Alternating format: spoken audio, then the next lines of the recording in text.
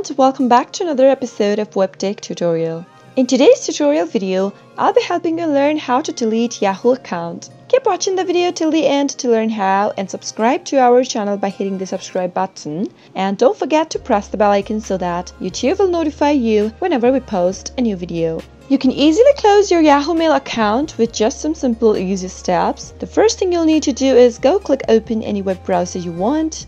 Open a web browser and in the search box type in Yahoo delete account. Once you do that, from the search results, click on Delete my Yahoo account, the Yahoo Privacy Dashboard. Simply click it on and you'll be taken to your next page. Go through the information and click on Continue Delete My Account in order to delete your account. You'll need to confirm your identity before you delete your account, so enter your email address right here. And once you do that, click on Yes, terminate this account. Now your account has been deactivated and scheduled for deletion. Click on Got it. But in case you have accidentally deleted your account, then you can try logging into your account Remember that deleting a Yahoo Mail account means not only that your emails will be removed and you'll lose access to your account, but you'll also no longer have access to your My Yahoo settings, your Flickr account, and photos and other data stored in Yahoo services. If you have accidentally deleted your account, then you can reactivate your account even after you've marked it for deletion.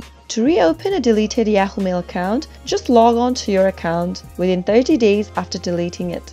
That is how you can delete your Yahoo account. I hope the tutorial was helpful to you. If it was, go ahead and give it a thumbs up. Feel free to comment down below in the comment box if you have a question or a feedback for us. I'll be back soon with more tutorial episodes. Goodbye till then.